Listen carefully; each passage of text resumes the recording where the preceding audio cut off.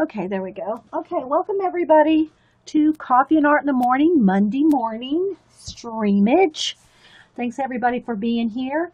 So, um, I already talked to everybody. Hopefully, said good morning to everybody I saw in chat. Thanks everybody for being here. If you're watching this on YouTube, this is a live recording with a live, mostly live audience. we have a live chat going on during these shows, and uh, they're not edited. They're just uploaded directly to YouTube as soon as the show's over. And uh, so thanks for watching over on YouTube on the recordings, and thanks everybody for being here in the live chat Monday morning. So I think what I'm going to do uh, today is I get so many questions on the kind of products I use in uh, just different things, especially though in color books. Like here's the one we worked on last week. So uh, I think what I'm going to do is go and talk a little bit about uh, some of the products that I use for coloring, color books and, and other things, you know. So, because I get so many questions on them. And then that way I'll have a video directing you to, you know, to direct you to on a lot of the products that I use. I'm not sponsored by anybody. I'm, uh, nobody's paying me to talk about any of these products. They're just products that I use that I like. Uh, and not saying I'll never change anything. I always add new things, like my uh, watercolor markers that Eileen sent me, things like that. So, but I will try, try to talk about some of the products. And if y'all have any questions in the chat, just put it in caps so I know you're talking to me and not just chat rolling by. So first off, let me just talk about, what I pulled out two color books here. I pulled out my Animorphia and my Imagimorphia because these are two that I've worked in recently. This one we did a video on last week. And um, so I'm just going to kind of talk a little bit about some of the things that I do. Uh, for instance, the first thing I usually do in a color book page, and this is just my technique. It's not like the you know end all be all technique. It's just how I do color book pages.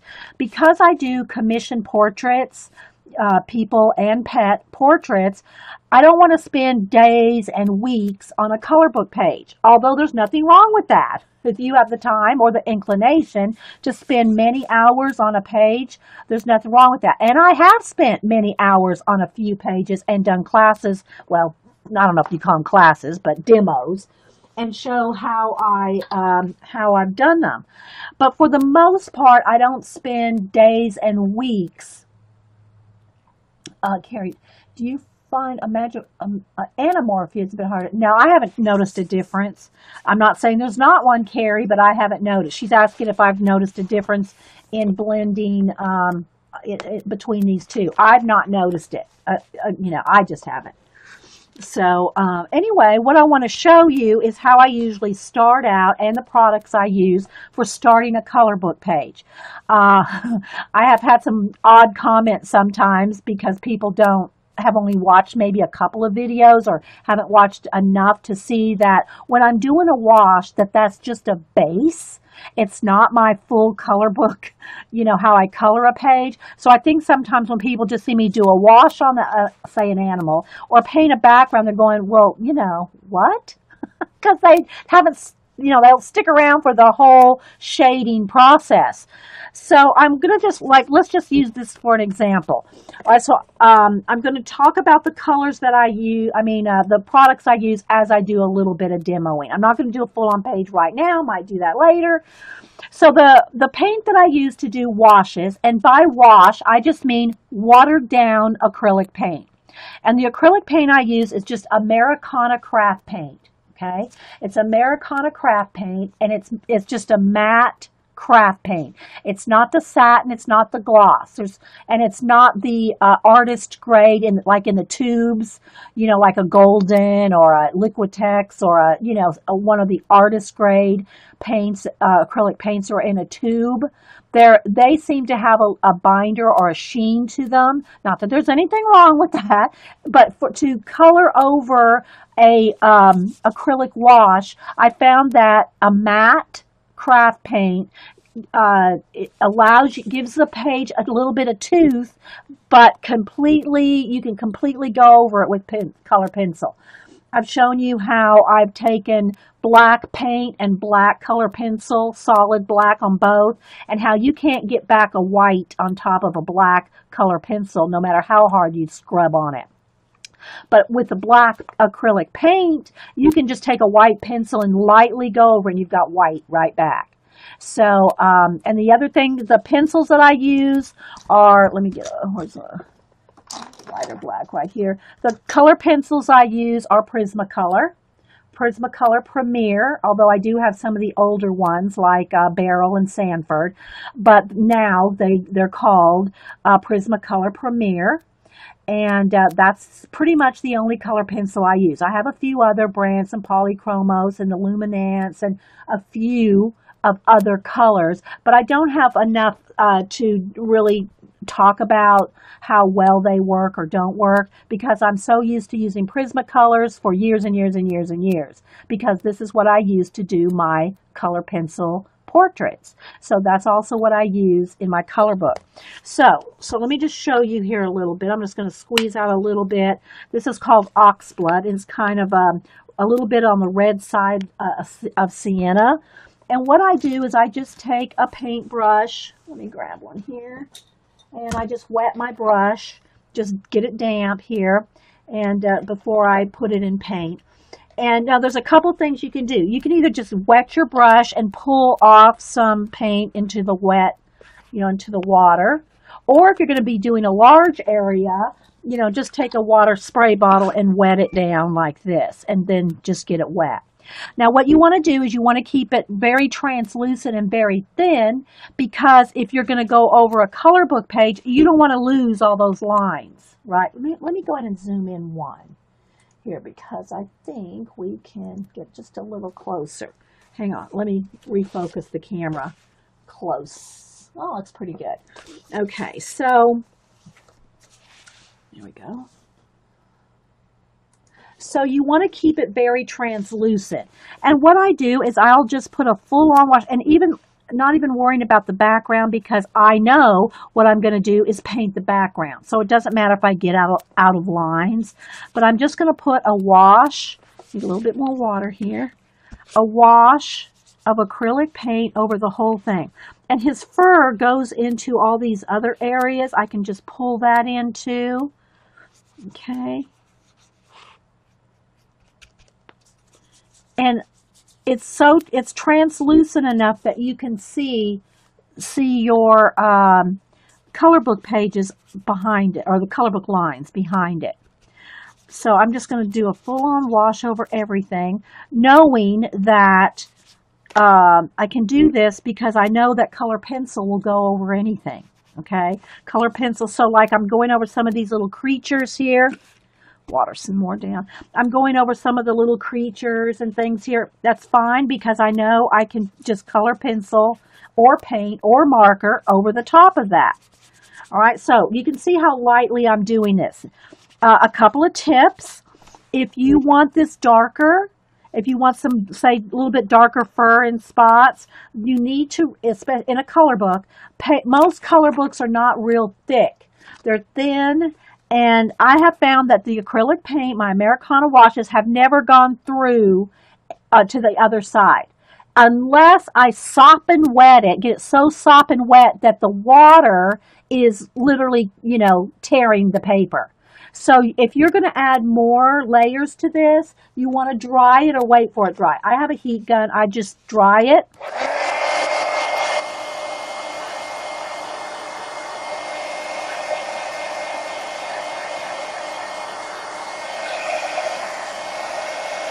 you want to make sure it's really, really dry. Not just for a, not just for another layer of paint or another wash, but especially before you go in here with color pencils. You want to make sure it's 100% dry before you go in here with color pencils. Because if you don't, the paper's just going to peel up or you're just going to tear right through. Hey, Leah, anybody else popping in? All right, so now if I just want to add a little bit more of a wash, just a little darker, say in some of the fur areas. It's dry there, so I can add another layer, okay? So I just want you to kind of see how I um, approach the acrylic wash because I always get people asking me about does it go through? Does it, uh, how do you see the lines? It's because I'm doing very thin washes. Okay, very thin washes. So I just wanted to do this little bit to show you how that works. So uh, again, you want to make sure it's dry before you go in there with color pencil and start doing shading. Okay, I know he has a cute face, doesn't he, Eileen? All right, so let me go ahead and dry this real quick so that when I close the book, this paint doesn't transfer over there because it's wet.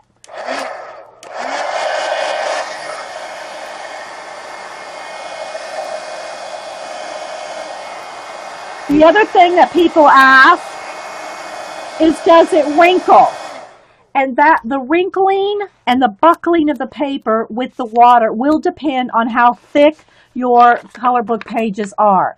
Every color book paper are um, every color book page you use is different. So you always want to have a back page where you can um, test test your pencils, your pens, your markers, your paint, how much water you can add. Always have a test page in every book because every page is different. Okay, every color book is different, the thickness and whatnot of your paper. Um, so yeah, so that was just using, this one's called Oxblood. It's Americana. Again, I use Americana paints uh, really almost exclusively. I mean, I might have the off brand here or there, but, and they're not sponsoring me. No one's paying me to say this. I just like Americana. I like the colors. I like the coverage. I like everything about them. So uh, that's just the, the brand that I prefer. Also, they, it is a matte. Again, it's not the, there, there are DecoArt, satins, and glosses. The pencil will not go over the same with gloss and satin paint. You have to, you know, have a matte paint, whether it's Americana or whatever you want, but always test it. So that's the, the paints I use, and that's what a wash is for me, okay? It's just a wash of watered down acrylic paint.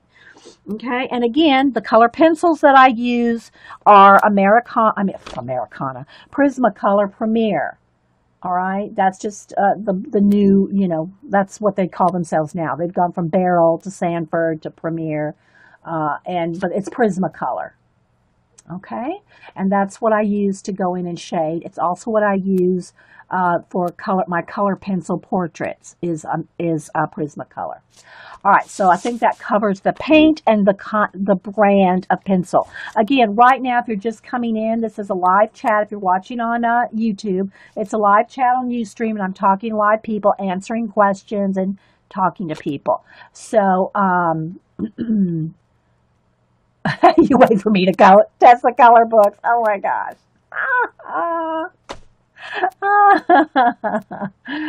All right. So anyway, you're funny, Terry. So anyway, uh, I'm doing this. I'm doing this little segment here on the products and some of the techniques I use because I get the same questions all the time. Like every day, I get a message or an email asking me what paint I use, and I understand that if I if I color in a color book and I happen to not mention it, then people that will be the one video that people will see and say what is it? Well if i if i make this video i can direct you, uh, you know everybody to the products and some of the techniques i use. Okay so that is uh, some of the paint and the wash and the pencils that i use all right, so then we did this last uh, week. So I did this little bit of a demo showing some different things that we use. Um, oh, let me just show one more thing in here. Let me go back to this. Uh, it's a good one to do a demo on. The other thing that I want to talk about using acrylic paints is when I do a background. When I paint the background of a color book page, um, it's not watered down. Okay, now here I've done some shading with color pencil on top of an orange, right? Now, um, I'm not sure what color background I want this to be. A lot of times I like black, but I have, in this one, I've done many, many different colors. I probably don't need to show that. I can just tell it. Uh, many colors in here just to test out different background colors. I'm trying to really, I would love to finish this whole Imagimorphia uh, color book eventually. So I just do different colors in the background. Here's one with the black in the background. And it is a little flashed out, guys. Let me kind of, if I tilt it forward, you can see what it really looks like. Well, it's still got a little bit of a shine to it, but I think you get the idea. Um, I'll just paint a flat color in the back with uh, whatever color. I don't remember which one this was. It might have been Prussian blue. I don't remember. The background could have been midnight blue. But um, the background is not watered down. So when I paint a background and I just want a flat, matte, color background that I can go over with color pencil. See the color pencil here? And then I have also splattered stars, but the color pencil on top of the acrylic paint just works like magic. It just is awesome. So, um, yeah. So the background color is flat.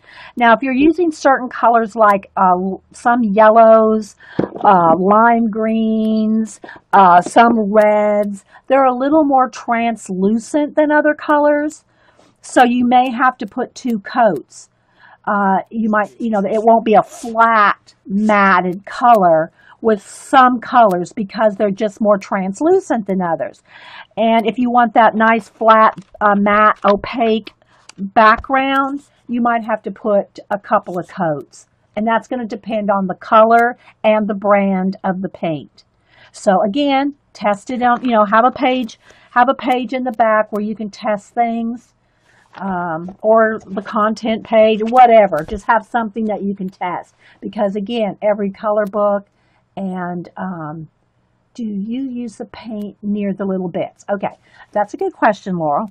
So sometimes it depends on how uh, quickly I'm trying to get it done or not. Um, you can paint right up to the edge, but if you feel like you're uh, painting skills are not good enough to get tiny, even with a tiny brush, get right up inside little areas, then I would try to, I would be aware of what color you are going to paint, I mean, uh, pencil around it. If you have, like, for instance, if it's black, uh, you know, if you do a black background, obviously you can take a pencil and get right up in there with the black. But if you're doing it some kind of specialty color, like, um, well, let's just go back to this. Uh, if you're doing um, the background like this midnight blue and you didn't have that exact color pencil, it's going to show. So in this case, I wanted a lighter color blue. I wanted to make like a glow kind of around the watered area. So I knew what I, going into it that I was going to do that. Okay. Uh, even if you don't know you're going to do that, if you don't have the exact color, you could do that on purpose. You can put like a glow or another, you know, co complementary color or even a contrasting color because your pencils will go over the flat matte pencil. Okay, hey Pam. So it depends on how much time you want to take. Um, if you want to get in there with every little bit, like I knew that this was going to be the lighter color, so I just penciled all the rest of that in. But if you want all that background, those little bitty bits with the same background color, you're going to either have to get in there with a brush or a pencil or something at least kind of close to the color. Yeah, yeah, so that's gonna that's gonna matter. The paint and your pencil, you're, you're gonna have to know, do I have that exact color pencil? And you probably won't have an exact color pencil, you know, and depending on how much difference there is between your background and the color pencils that you have, you'll have to work with that. Or you'll just have to have a tiny little brush and paint in there. Get in there with a tiny brush. It, just like you would with the tiny, with the pencil or a marker or a gel pen. And speaking of which, let's go back to the castle here. If you were watching last week, I was trying to use all different kinds of things on this page to show some of the uh, different uh, products that I use in a color book page. So after we did the uh, wash of the castle, here you can see it's mo mostly just the wash. Then I went in here and started shading with a couple of colors of uh, color pencil, and I don't I don't use um, 20 shades of whatever color I'm doing on a color book page, unless maybe it's a face or something special or a large image with a lot of, uh, you know, big imagery of clothing or something where I'm going to need more shades of color. But when I'm doing something this small, I'll usually stick to two or three colors in something this small to shade with, you know, have a, a light, like maybe I might have a white, a dark, uh, purple and a light purple, maybe one other color, like I use some blue, blue in here, but, um, I don't use, you know, 20 different colors to shade like a, this small of an area.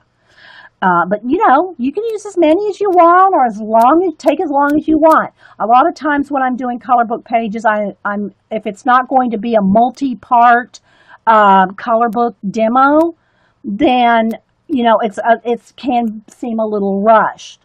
Um, and you know, because I'm trying to get as many techniques in there as I can, or show you as many ways that I can do I do things, so that you can take your time and do more different ideas. So then what I did is I took my darkest and started shading on the sides here. And then I kind of blended it out with the lighter lilac color. And then what I did is went in with a uh, marker. All right, so now let me talk a little bit about the markers I use uh, in a color book. Okay, I don't use Copics or any alcohol-based markers. They will go through I've never found a color book that they wouldn't go through. Maybe the specialty, there's, I think there's one or two heavy watercolor paper, specialty, expensive color books that, that it may not go through. But let's just say in general, alcohol-based markers will go through your color book pages. Now, if it's not a double-sided, if like these are all, you know, you got pictures on both sides. If it's a single-sided page and you don't care if it, it bleeds through to the other side because there's nothing there, just remember to put something between it, a cardstock or whatever. Put that between your, your pages, or like I do most of the time, I'll just tear them out and I, then I put them in a binder if they if they're not a continuous story type thing. Um, and then you don't care if the markers or whatever go through because it's a one-sided page. And uh, so if you want to use alcohol-based markers in that case, or if you like, let's say you really love this page and you want it to be in Copics or whatever, you know, make your own personal copy. I'm not saying copy it for any other reason than just your own personal Copic mm. use or whatever. Um, it's just that I don't use alcohol-based markers really at all for anything. Um, because I, I'm so, uh, I use my color pencils and acrylic paint. Okay, so anyway, when I'm using any kind of markers that I do use are just the cheap Crayola Super Tip kids markers. They're called Super Tips and, and essentially they're a bullet tip. Okay, so they look like this. And what's nice about them is you can get a, a thick line, a medium line, and even up to a thin line depending on how you tilt the marker, right? You know, because it's a super tip. Um, can the acrylic paint cover up bleed through? Not unless it's soaking wet.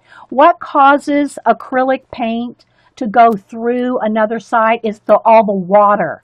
It's the water that's breaking down your page. So if you do, like I showed you on that box, do one coat thin Dry it completely before you put another layer on. As long as it's dry, it's not going to tear your paper. Because what is happening if your acrylic paint is going through, it's because you got so much water that you have wet the page down to the point of turning it into pulp and that will water will eventually go through. So you've got to dry it if you want to layer up your acrylics. You have to dry in between so you're not pulping up your paper. So yeah. okay, so then what I'll do, or what you can do, I don't do this on every page, but I want to. I'm just trying to show you all the different kind of materials I use and some of my techniques. So if you have any questions, put them in caps. Um, yeah, and I'm getting in. I get asked Jean. I'll get in the teacher mode. I'm not a. You know, I tell you guys, I'm not a teacher, but I get the teacher vo- voice when I start describing things. So I sound real serious, but it's it's all good. It's all fun, guys. I just don't want to miss telling you anything. Okay, so then what I did on this particular page is I took my marker, let me get up here close, and I just I just went in here and did a few a few little bricks on, you know, to kind of shade it a little bit more and then just add essence of bricks. I didn't, whoops, I didn't paint every single brick in there.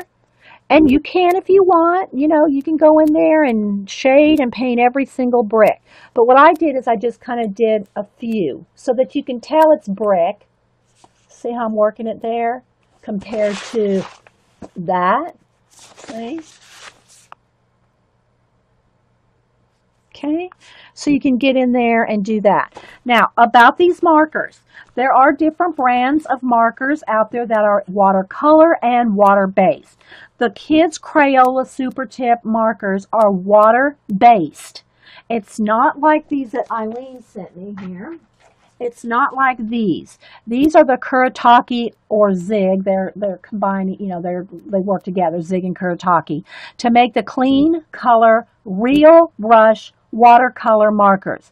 These not only have a real brush, it's a real brush there with individual hairs, okay, but it's actual watercolor in these markers. This is not watercolor in here. This is just watered down whatever. you know, which works great on top of your color pencil. You got to make sure it's dry though. I didn't stress that. When I do these little bricks like this, let's just say I did a brick like that right now. I can smear it, okay? It'll smear. You want to, you know, you want to let it sit for just a couple of seconds to make sure it's dry. These are actual watercolors. These are not refillable. Neither are these. But these are real watercolors and will blend like a watercolor you can treat this just like watercolor on the tip of a brush and, and it'll blend. It'll, you know, do a lot of things. Now, the thing with these, if you're doing your color book pages, these are expensive. I do not use these in my color books unless it's a special thing.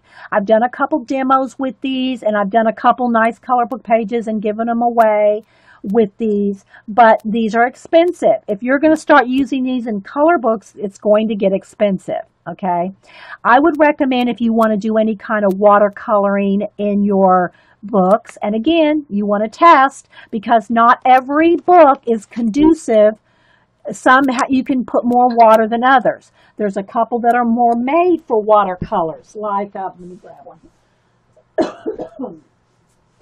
like these Island Escape ones. Hang on, guys, I froze for just a second. Uh, these have um, these have a thicker, almost watercolor type paper in them. Okay, so they're a little bit more conducive to watercoloring, but you have to really test.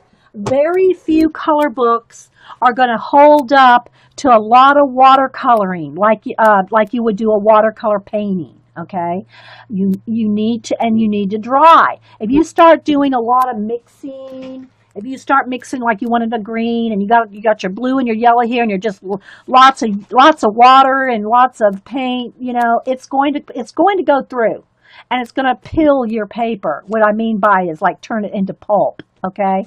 So you really need to test any kind of whether it's just watercoloring. I know Bunny uh, does watercolor in her books, but if you notice how little water she's using and tiny spaces. So it's kind of drying as she goes. She doesn't have a lot of, you know, she doesn't just wet the paper down and do a wet on wet technique in a color book. It's just not going to work, guys. You're, you're going to be upset with yourself if you try to do like a big wet on wet technique in a color book and your paper just melts, you know. Know what I mean, Vern?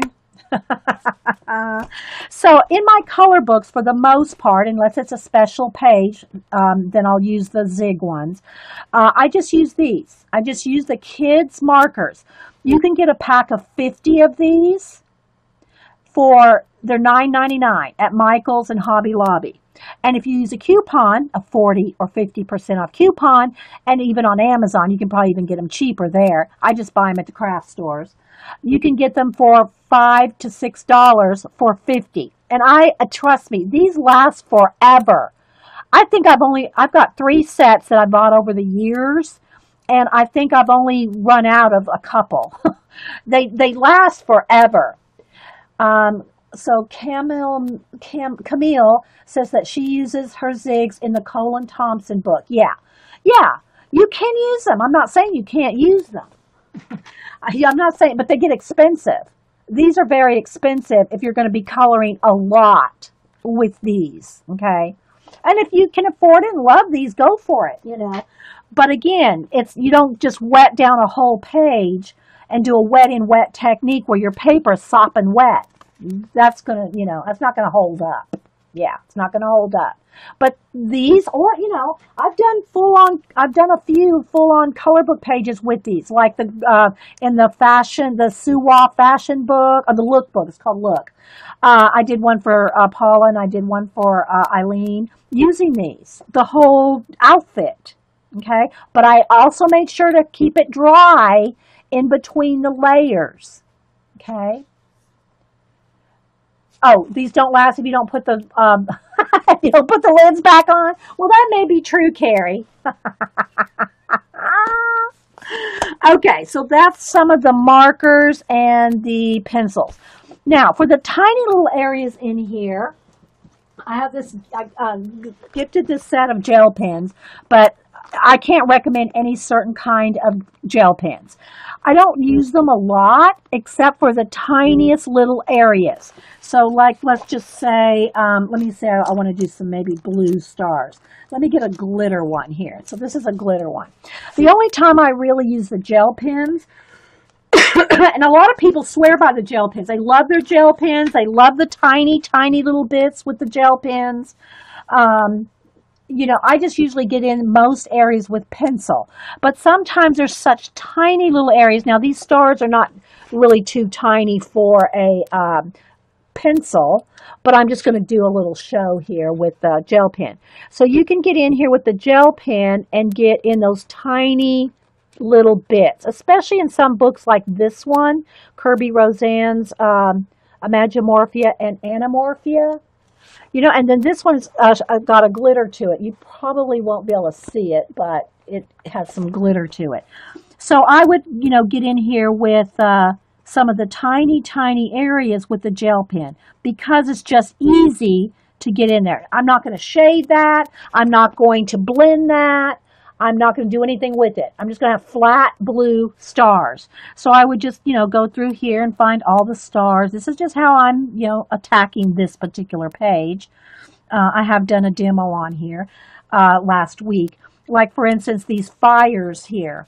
All these um, uh, Kerby Rosanes' books have these wavy things on all the pages. It's kind of like he how he blends everything together with all his little creatures and whatever else is going on. And somebody asked me last week, how how do you color that? Well, I will, it depends on what I'm going to do. In this case, I'm making a fiery castle. So I made all the little water, water bits to look like fire. Okay. And how I sh showed that is I started just by doing a base coat of just a, um, you know, found all the fire in there, all the orange, and just did a nice light coat with that. Then I went back in with uh, a red and a yellow marker, the the markers and just kind of put some yellow and, and um, red in there. And then I blended back again with the uh, pencil to make it kind of look like fire. So I just went through the whole thing and found them all. And um, yeah, so, uh, but, but gel pens are excellent.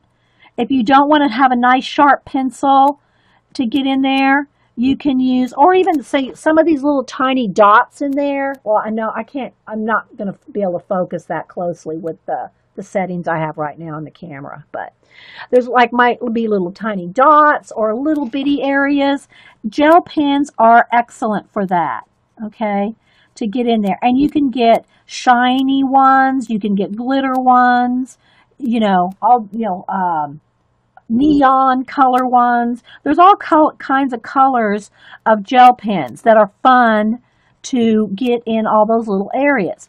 Now, speaking of glitter, this is a glitter one, and y'all can't really see it, but, you know, I can tell that it's glitter. But in some of my uh, color book pages, I like to add glitter. Um, let me go over here to Anamorph. No, is it in this one? No, it's in this one. Mm. Where I did the spider web here. So this will show this glitter because it's a lot. Okay, see all the glitter there on the spider web? Um, I do these large areas of glitter, or if I want, like, let's say I wanted to glitter the whole castle, I'll use stickles. All right, so this is the glitter that I use. I like it because it's it, the glue and the glitter are, are very um, together. You're not going to get little flakes of glitter anywhere. Okay, it, it just stays where you put it. And uh, there's many, many colors of these. I would recommend if you don't want to buy all kinds of colors of stickles, get the diamond. The diamond is like glittery and clear. So whatever you go over, like let's just say I go into these windows. This one might almost actually be empty. Um, all right, here we go. Let's just say I wanted to put, I wanted to have um, shiny, wind, uh, glittery windows. I probably shouldn't be doing this because then I can't do anything else in this book while it's wet. It does take a little bit to dry, but it, it, will, it won't change the color. See, it'll still be purple under there. See how it's still purple under the glitter? So you can use diamond stickles. You can use diamond stickles over any color and it will be the color that's under it. Now, because I'm still working on many pages in here, I'm going to go ahead and wipe that off and I'll re-glitter it later, okay? Because I don't, I, it, it takes a while to dry. So that's what I use for anything glitter. On the spider web, I use silver. I use silver stickles. Go back to it. Let's find it here. This was silver, okay? And I know the the light's wanting to flash out my color there a little bit, but yeah, so there. Okay, so let's see what else have I uh, got to think about what I'm using. I'm trying to tell y'all, you know, every kind of product that I use in my color books or, um, yeah, so let me just think for a second. Let me ask you guys if y'all have any questions real quick while I'm thinking of the next thing I wanted to address. Y'all have any questions on any of this so far. But that's pretty much the main things that I use in color books. You know, the occasional gel pen for tiny areas, mostly acrylic paint, and again, I use the Americana. Uh, for the washes, watered down, and the flat, not watered down backgrounds, and color pencil, Prismacolor color pencil. Okay, so I'll just, uh, let me color a couple more little stars and maybe a couple of these little bubble things here uh, while anybody has any questions. I'm, do, I'm doing this video because I always get asked the same questions and I understand that not everybody's at every show so they don't uh, necessarily uh, know what I'm using if I don't show it each time, which I do try to do. Anytime I do a color book page or anything, I do try to tell you what I'm using as I go. But um, in case anybody missed it, that's why I'm gonna I'm kind of doing this show to uh, like a show and tell of what kind of products I use. All right. So let me see if there's anybody else that I need to say good morning to.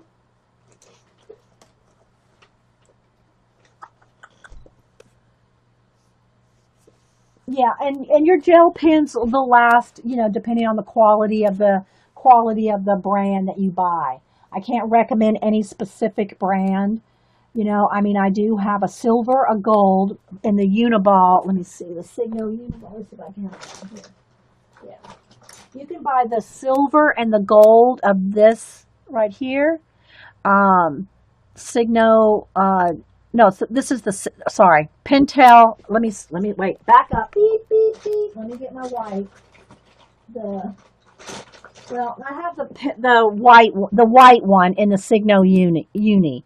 These are the the silver and gold are in the Pentel Sunburst gel, and you can buy the silver and gold in a set at I get them at Hobby Lobby. You can probably get them at Amazon anywhere. But they're the Pentel Sunburst silver and gold. I used to have the, the white ones. I don't even know if they make anymore. I love the white ones, but I can't ever find the Pentel Sunburst in white.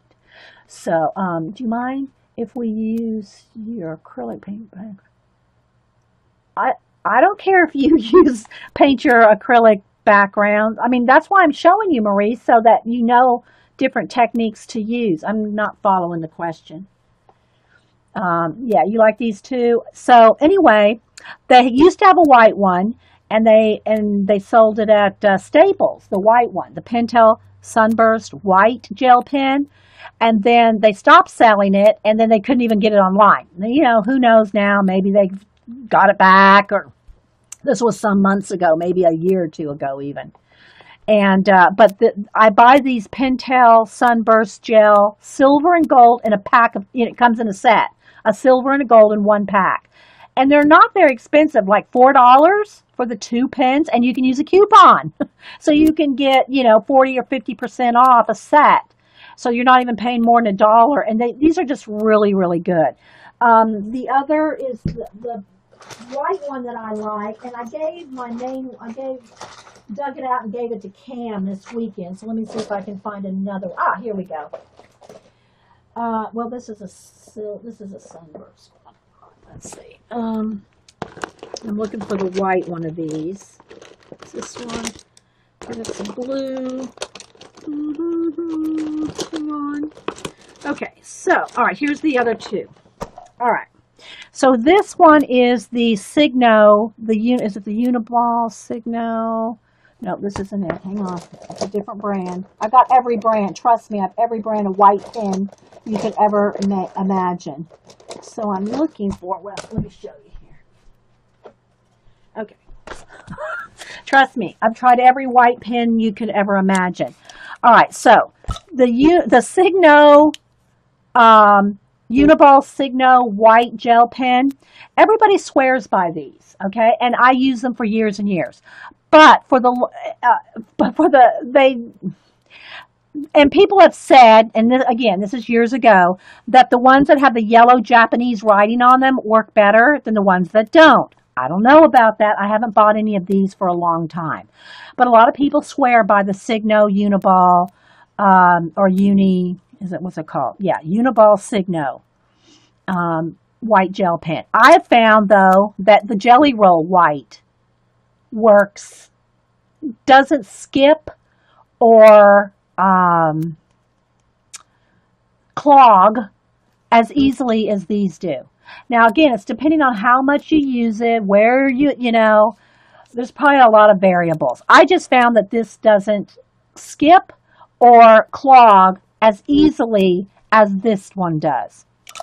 That being said, these days I have mostly been using for any kind of white highlight or white areas the Uni Posca, okay? The Posca pens. These are paint pens, but they're not your, um, they're not your, the kind that with the oil based, like the oily based old kind of like Sharpie, um, glossy uh, paint pens that you know you really had to really work at getting them to work and they're constantly clogging. These i'm telling you the posca paint pens are awesome. Now they're just pure white. You never have a problem with them i like using them for highlights and eyes.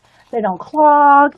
And uh, this one, apparently, they even have a thinner one. This is a 0.7 millimeter, and Jean was saying that they even have a thinner one. This is plenty thin for me, but they apparently even have a thinner one. Yeah, these, and you can, I get them at Jet JetPens. You can get them on Amazon, wherever, because this is the only color I buy. So if you want sets of them, you can buy these in, uh, I think, three size, three different tip sizes. I just get the 0.7 in white. It's the only Posca I've ever used is the white. So Jean uses them, yeah, they're like high flow acrylics in a marker is how Jean's describing it. So I buy it just for the white because I don't really paint or use them. Jean uses them in her art journal, and I think they'll go over anything, won't they, Jean? Won't they just like go over anything? Uh, again, I just use it for like a little bit of highlight in an eye or on a lip or something like that is really all I use them for. So they last a long time. Um, yeah, she said that this is the medium tip. They have the fine point. And although this is a very fine, fine point, well, I can't zoom in. I mean, I'm not zoomed in to focus on that, but it's, you know, it's, I, I can do stars with it or whatever. And speaking of stars or foam or any kind of white splats. Somebody also asked me about how to do snowflakes.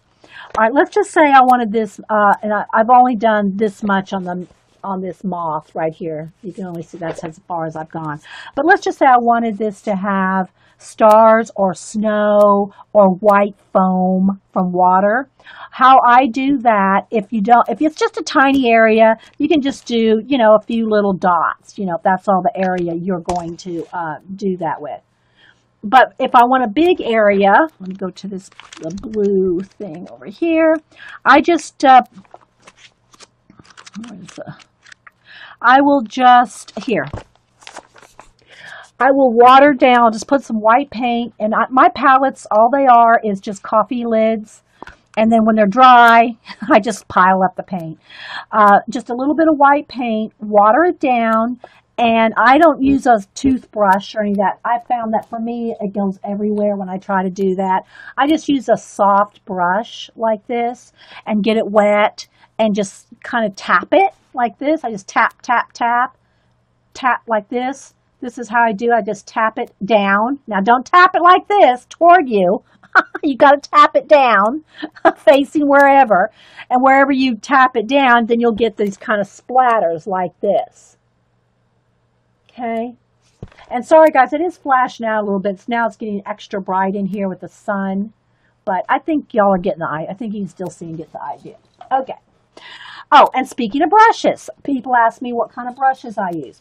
I have my brushes in by usually by size in different jars. I have four jars right here and a spinny rack here for the even the larger ones. Okay.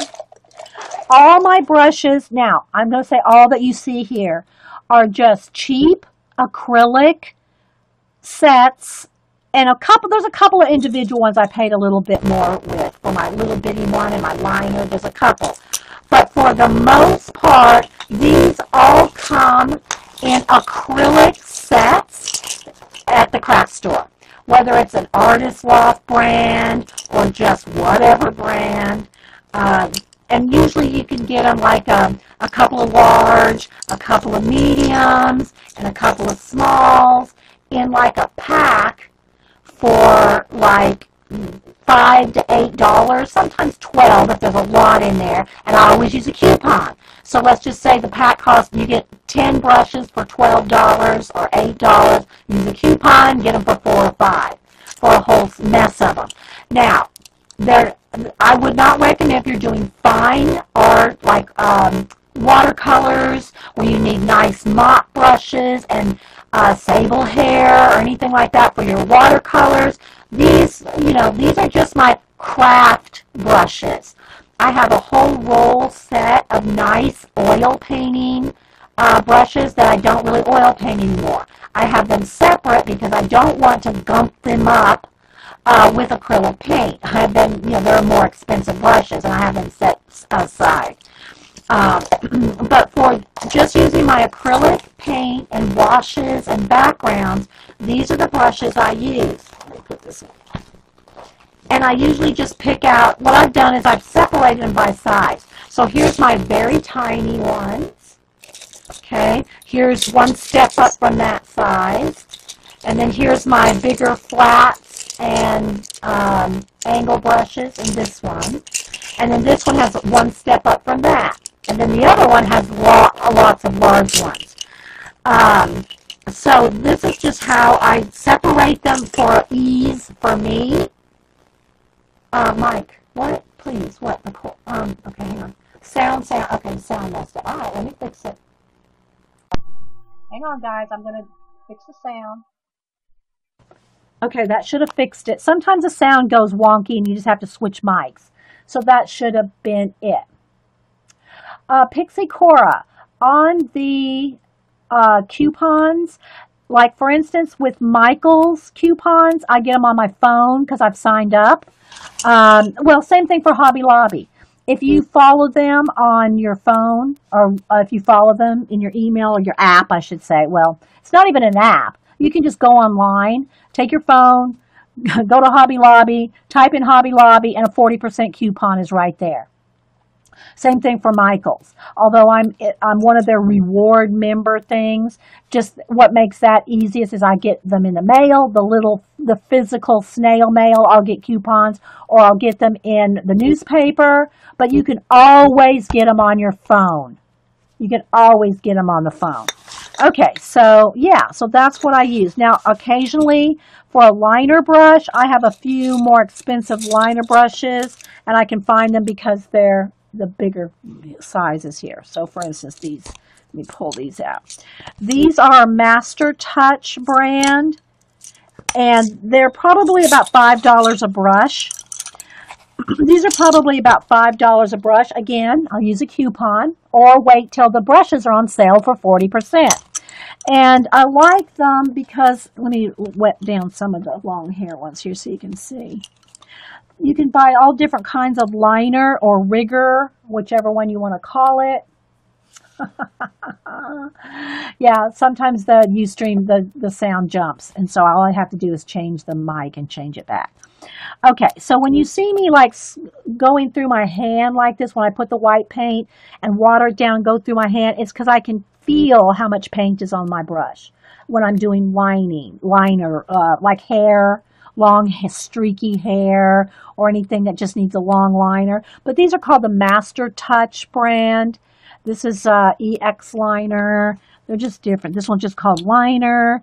This one is called, that's the same as this one. So you can see, you can get these nice long liner brushes. And I like these, I like the handles of them. I like because they're like heavy, uh, not heavier, but they're thicker handles. So it just makes it easier for me. I mean, I just like them. I just like this, you know, brand. But they have all different kinds too. Like here's a tiny, tiny little one. Um, you know, I've just got different sizes of little bitty, little bitty ones. So, but I don't have, you know, for the most part, it's just the cheap acrylic uh, paint brushes that you buy in sets of, you know, like here, this, the, all these orange ones came in a set. Here's one with the blue ones. I would recommend though, if you do buy any kind of sets, especially if you use them a lot, like I use my brushes literally every single day. And uh, yeah, I use my brushes all the time. And Darcy was funny when she came up. She goes, Dee, I've never seen brushes so clean as yours. Well, a couple things. One, after I use them, they never sit in water and they never sit in paint. I have. I'll show you where my. Uh, I'll show you where my. Uh, mess comes in. Look at my, this is my water thing. I can't tilt it, but trust me, see how dirty that is? That's what it is on the sides. So how I uh, keep clean my my keep my brushes so clean is after I use when you'll hear me, and I'll have uh, let's put this one back in here. You'll hear me. I have a paper towel. This is what it sits like right at my elbow. Well, a little farther than my elbow, but it's got two slots, and they're they're dirty now because I've been using them this morning. But what I'll do is after I use a brush, so there's two slots. You can have a clean side and a dirty side. So I'll, you'll hear me do this so I'm cleaning and cleaning my brush. Okay. Then I'll come over here to the clean water and rinse. Then I come down here and I do this. And I, and I flatten out my brushes and then they go back in the jar. Or I change colors, whatever. So I'm constantly cleaning my brushes and I try, I try to change this out every day. Um, so that sits right next to me. So I'm constantly cleaning my brushes and flattening them out, no matter what size I use. You know, the tiniest ones. Now they'll they'll start to flare. Look at some of my brushes, how bad they look. You know, they'll get they'll get uh, jacked up, if you will. oh, yeah, I was going to say about the handles. It, it's best if you can get the plastic handles, especially if you are one to ever uh, be a, uh, um, if you leave your brushes in water for any length of time. If you have a wood brush, wood handle, and if you leave that in water even for an hour, the wood's going to start peeling off. Okay. You're going to, you know, and depending on what, how uh, of expensive of a brand, if they're not varnished, like my uh, liner brushes here all have a nice coat of varnish on them. they they're varnished pretty well. But if your paint brushes are not varnished and you're just buying cheap craft brushes in these sets like I'm I do, if you buy the wood ones, they're going to start that that's going to start peel. Look, look, see, look, there's a perfect example that just popped off right there. That little bit of paint, see, they're going to start peeling off. So you want, if you can, try to buy the plastic handle ones because the wood is not going to chip off. All right. And I have found that they're really maybe you might pay a dollar more for a pack of these. You might pay $10 for eight of these, and you might pay $6 for a pack of these. I, you spend the extra couple dollars to get the plastic handles. And I'm not recommending any kind of brand. I don't, I'll buy whatever, you know, this might be a Michaels brand. I don't even know. It's a Craft Smart. That may be that might be the you know I know a Michaels has a couple. They have Craft Smart. They have their uh, um, uh, what's their brand called? Anyway, uh, I I don't care what the brand is. I look at the if it's a plastic handle and the ang- I, I like a lot of angle brushes. That's my favorite kind of brush to use. But whatever you can buy a set. You know you can buy a whole bunch. You can buy a set of tiny ones. Okay, you can buy a set of you know flats you can buy a set of the larger ones, like here. This one's I haven't even ever used this one. Um, so, and they come in different colors. Here's a white. This one is the that's a Craft Smart brand too. It's just a different kind of set, but it just says acrylic it just says acrylic brushes on it. They're not anything special and they're not expensive. Because I use them so much, I'm rough on them. I'm constantly, you know, you hear me banging in the water and cleaning them. I do keep them clean, but I don't worry about them because they're inexpensive craft acrylic, whether they're uh, black uh, brushes or the white acrylic ones. Either one. I'll buy whichever one, you know. So those are the brushes I use. Again, no fancy, they're not anything fancy except those liner ones. Um, my more expensive brushes, see, let me get my thing here to pull back the light. Uh, my expensive um, oil paint, oil painting brushes I keep in a roll. So my more expensive brushes, they're going to be in, in here. And I don't use these for my acrylic paint. Okay, so, and, and I really don't even use these anymore, very rarely, because I don't do oil painting or professional watercolor for that matter. So, that's on the brush issue. Every time I place an order with Blick or Jerry's, you buy a few brushes. Yeah. And they always have them on sale. You can get those like the Master Touch ones, those liner brushes that I say are about 5 or $6 normally. Wait for them to go on sale for 40% off. I mean, at least once every other month, Hobby Lobby and Michaels will have their brushes 40% off. And that's usually true with all their products. It rotates. You know, one week they'll have sketchbooks 40% off. That's without a coupon. That's not even including, I mean, you can't use, you can't use a coupon and the 40% off. But what I'm saying is every, every week they rotate the products that they have on sale for 30 or 40% off. So you can always get something on sale. Do you use the yellow ones too? Are they different? The yellow what? The oh, you mean the yellow bristles? Um, I it doesn't seem like I buy those as often, but I do have I have those too. You know, the, some they'll come in sets like this. I, it doesn't really matter to me. I, if it says acrylic on the package, they're going to be you know synthetic for the most part, and they just hold up well you know, I mean, some, I mean, I don't even know what kind of hair some of these are, guys. I don't even know that it says what kind of hair, if it is in fact even real hair. Not it's not like your sables and things that you use, you know, for your uh, more expensive brushes. I don't buy those for this, for color books or any kind of acrylic painting like this. Okay? All right, so let's see now. What else haven't I covered as far as products? Y'all have any questions? I want to get a sip of coffee real quick. My coffee's getting cold over here. It's got a ring around it. It's been sitting here. I haven't taken the first sip since we started an hour ago. Mm-hmm. Um, how, okay, let me say how I usually keep my pencils.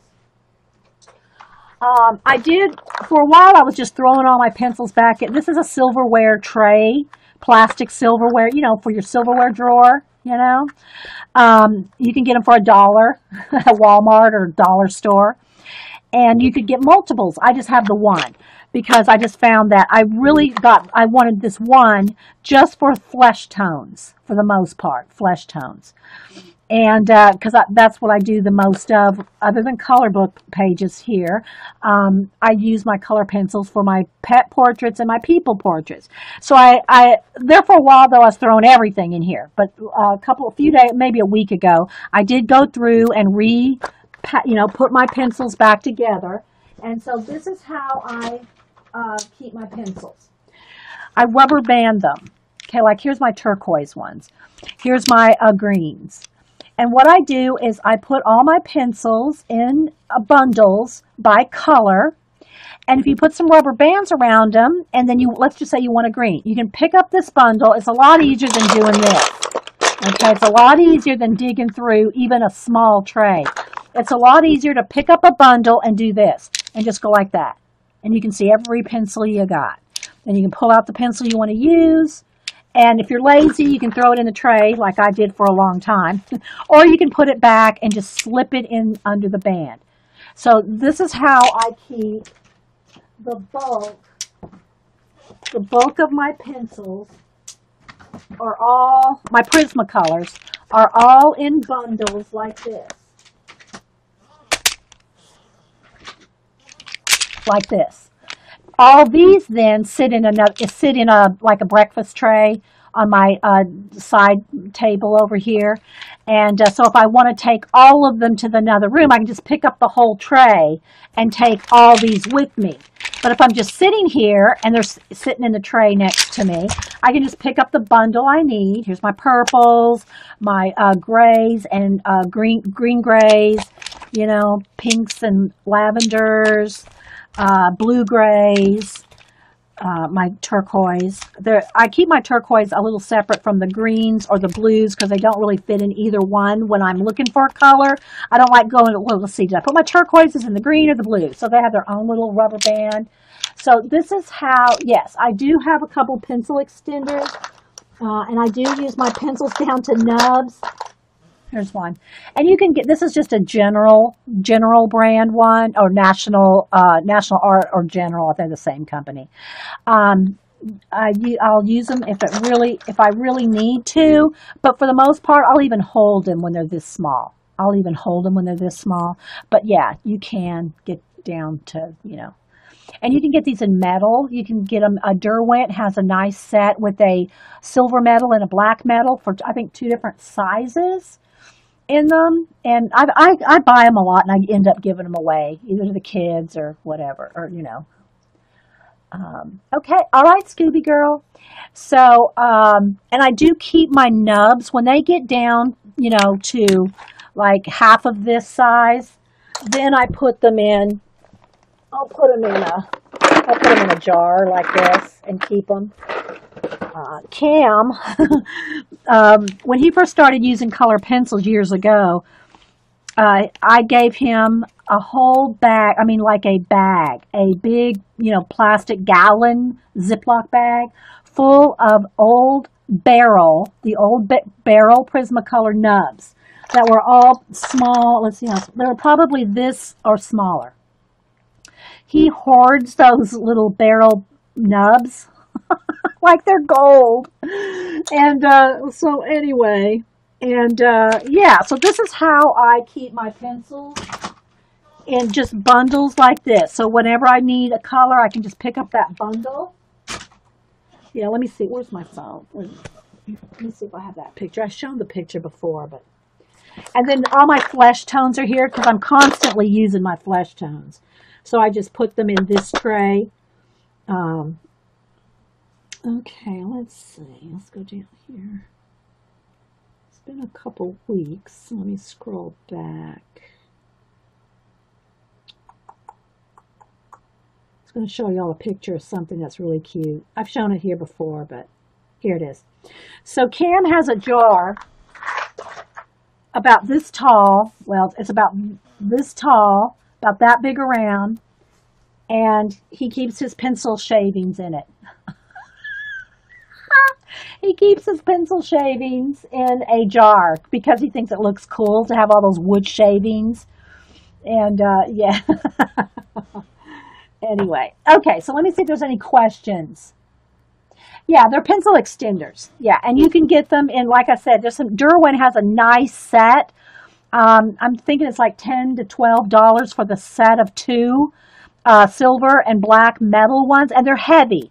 So it just depends, I guess, on what you like to hold in your hand. They're heavier than just that little wood one that you can get, you know, that one's nothing. You know, they come in sets with the pencils, and anyway. All right, so let me check.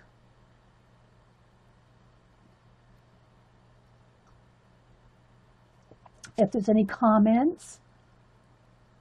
And yeah, I'm just showing you guys the things that I use and do. There's, you know, thousands and not millions of people on uh, YouTube to find. Can you use your, well, there would, I'm sure they would catch on fire, Carrie. I would not know that you'd want to, but I'm sure. uh, so, okay, so I'm just trying to think. I got all kinds of markers and stuff all over me with all this demoing. Let's see. So that was in the Imagimorphia and Animorphia. These are the two that I, I work. Um, I work um, like little bits here and there. I don't rarely finish a whole page all at once. I, um, unless I'm doing a special thing here where we'll, we'll go through multiple parts. All right, so I'm going to wait just another second to see if y'all have any more questions on the, the supplies that I use for my color books. Uh, I'm not, I haven't gone through the supplies I use for my collage. If y'all want me to tell y'all a little bit about that, I can. It, all in the same segment, maybe I should. Um, show your pencil. oh, my pencil sharpeners. Okay. I've got every pencil sharpener, portable pencil sharpener probably ever made. I don't use electric pencil sharpener. It just eh, grinds them down to nothing. Plus, uh, electric pencil sharpener is not portable enough for me to take around the house or different rooms or anywhere. These are my three favorite pencil sharpeners.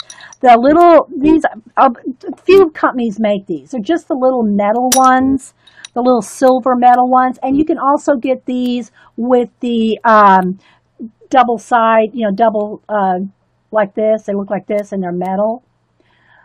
So this one, my little bullet one, the little brass um, brass bullet one is what it's called. Barrel. I think it's a barrel. I think it's called a barrel. And you can get these at Blick, Michael's, you know, wherever. And then the other one is the Kum woodcutter one because again I got I like this one because it has the two sizes. And I just keep a little porcelain thing here so I can sharpen on my desk rather than leaning over the trash can next to me every time. I'm not bending and bending and bending over the trash can. I just keep it right here. Then when it gets full I don't save my shavings like Cam does. Then I can just dump that out and start over like that. So this just sits next to me um, but trust me, there are millions of little sharpeners. You just got to find these. I just found that metal. Metal is the best one for me. That's what I found. And now I know that there's some people out there that swear by their uh, special um, electric ones that's just too much trouble for me. Yeah, I don't, I can't, you know, unplug or even if it's a battery operated, I'm not going to carry around a big electric sharpener room to room, you know. Um, okay, so thank you though for that question on the on the um, pencil sharpeners. Um, I'm trying to think to make sure there's anything else on, if there's anything else on the products that I use for color pencil. Okay, or color books. That's pretty much all I use. If there's anything else, I mean, I may do something special, uh, but I can't think of anything right now. That's pretty much it as far as the paints, the pens, the markers, the pencils, and all that that I use in my color booking. Now for collage, I'll just take a quick minute to show tell you that. Um, yeah, I'm sure there's other ones out there. Anonymous, I don't know who Anonymous is. I'm sure there's some other ones out there. Uh, I, these just work fine for me. If you find something that works better for you, yeah, go for it. I mean, you know, this is not a full on only, this is the only products you can use. And these are, you know, it's, it's just what I use. That's kind of what I'm trying to cover here. It's just what I use. All right. So now in my collage, and I think I'm going to have to refocus that. Let me grab one of my. I'm, and, I'm, and most of you already pretty much know. I'll just do a quick, you know, talk about that. In my collage, okay, let me back up a little close there now. Hang on, guys. Let me refocus. Let's refocus, refocus.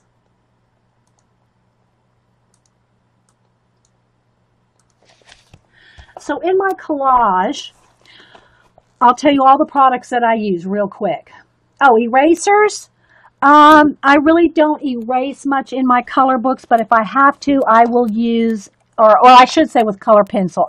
If I have to erase, color pencil. Now, this is not covering any kind of drawing or sketching pencils. I'm not covering that right now. I, I have done a show on my pencils before. But if I have to erase anything in uh, color pencil, where is it? Where is my, here, I'll use the Dixon Ticonderoga Black. It's called the black because it has a black eraser and a black barrel. Now, there, Dixon Ticonderoga has a yellow, your just your everyday number two school pencil. Well, this is just an, an HB number two school pencil too. The only reason I like these and buy these in boxes, like you know, you can get your like in school supplies, you know, when school school go, you know school starts again you can get 12 or 10 in a box. I don't remember how come, come in a box. But the only reason I buy these, I really never use the pencil. I buy them for the eraser. I do know that you can buy black erasers that Prismacolor and other people make. I just like the feel of a little, you know, pencil, you know, little pencil eraser when I want to erase something small. I'll just use this. So these are the, this is the only, uh, really the only eraser I found that works decently on my Prismacolor pencils. Not saying it's the only one. I'm sure there's others out there I've never even heard of. This is just what works for me. there's always someone going, no, no, there's this and there's that. Okay, okay, don't email me. Anyway, so that's that's what I use because it's an excellent eraser for a color pencil. Okay, that's it as far as um, color pencil. Now, if I'm sketching and drawing, the only kind of erasers I like are white, the white plastic ones. Like I love sketching with these. If I have to use a pencil, just a graphite pencil, I like my little um, disposable, you know, they're, they're tiny. I don't have to sharpen them. But I don't use the red rubber eraser. Now, I have used this, but I, I won't tell you what. It's not, it's not to erase a sketch. But I will cover up those with the white. These right here, these are the, to me the best for uh, erasing on uh, graphite or even the blue lead in my um, Graph Gear 1000. So, and this even comes with the white white rubber eraser. But I don't use it because, here's why I don't use this eraser. because if I set this little cap down somewhere, it will, I know, I just know I, I would lose it. So I just don't use that for erasing. I'll just pick up this one or Janet sent me, and oh, yeah, let me ask, answer that because I have had people ask me that. What's that eraser that Janet sent you? Let me see, I had it right here. It's the Tombow Mono. Here it is. the Tombow Mono Zero eraser, and it's a tiny, it just, it clicks down just like your pencils do, and it's a tiny, tiny little eraser. So I like that for little areas too. So there's, there's my uh, erasers. Did I cover everything, guys? I think I covered everything. All right, so that's for uh, color pencil and color book. And then for uh, collage, I'm not going to do any demoing, but I'm just going to tell you what I use real quick. And then we'll start a segment where we actually do something. but I just wanted to do, if you're just joining us now, this is like a product review of what I use. I'm not sponsored by any of these people. No one's paying me to tell you that these are my products that I use. These are just the products I use. Hey, Vicky up there, I just now saw you. So in my collage, what I do is I use the same paint, Americana Craft Acrylic Paint. All the paint you see, that's what it is. You can see this is how I use it, just in little coffee lid trays. And that's the paint I use. As far as images I'll use, I'll use um, calendars, old books, magazines, whatever. Let me get over here to a couple of pages that are done. And I know it sounds really like they really stuck together, but trust me, they don't. It just sounds like it. But um, so this is just all this is is Americana paint and images, uh, you know, uh, magazine, calendar, or whatever. And then I paint in whatever else I want to paint in. These happen to be varnished. The varnish I use is Delta Ceramcoat Interior Exterior Gloss. Okay, I use the gloss uh, to varnish my journal pages or my art cards, which let me grab an art card here, show you an art card, same process. The same process that I do my art cards, the same process in my art journal is the same that I do in my posters. Um, well, I won't get a poster. I got a couple of posters rolled up up there, but it's all the same process, okay? How I glue my images down is with golden matte medium golden matte medium. Here's a small jar of it just to show you. this is what it looks like. And you can buy different size jars like this, okay? But I just want to show you what it looks like. Because somebody did ask me the other day, is it fluid or is it, you know, and, and they asked different names. And I said, no, it just says golden matte medium. And just, just means non-shiny. You can get golden gloss medium. This is matte. That means non-shiny. This is what I use to glue all my images down. And then I do the paint. And I paint in it. All this is paint. All this is paint. Paint. Stars, planets, paint. You know, like that. And then after that, I will... Now, this one's not been varnished yet. So you can just see this one's not varnished. Okay, so got one more here. And I usually do these on stream for the most part. My art journal pages, I do these on stream. I usually do my posters, the animal big posters, which I haven't done for a while because those take a while. And I need to do a different, you know, filming setup to do a, a full-on big poster.